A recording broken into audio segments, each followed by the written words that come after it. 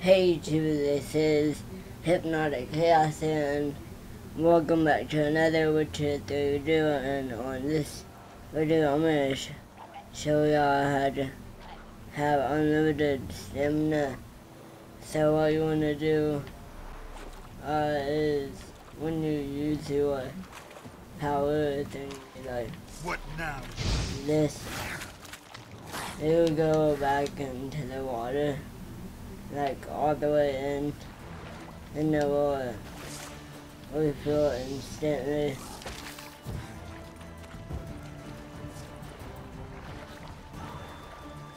And I hope this helps you out. And I'm gonna probably make a Minecraft video here in a minute. So, yeah. I hope y'all enjoyed this video. If y'all did, please comment, like, and subscribe.